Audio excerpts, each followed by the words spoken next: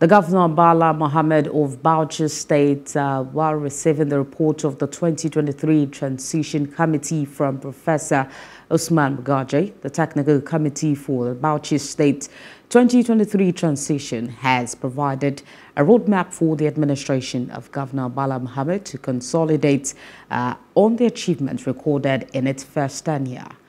To this end, the committee led by the Professor Usman identified seven priority areas to enhance the performance of relevant ministries, departments and agencies towards impacting positively on the lives of people.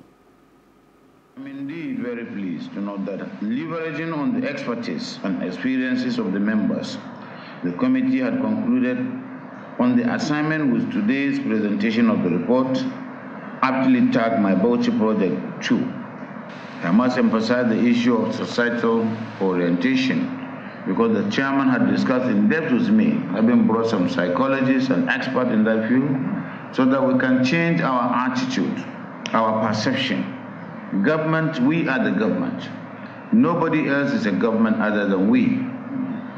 We must see our attitude, we must change our attitude toward governance.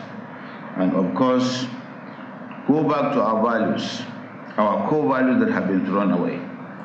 That, because of what the committee has done, we are even going to have a ministry that is going to take that as a special statutory responsibility. Hello. Hope you enjoyed the news. Please do subscribe to our YouTube channel and don't forget to hit the notification button so you get notified about fresh news updates.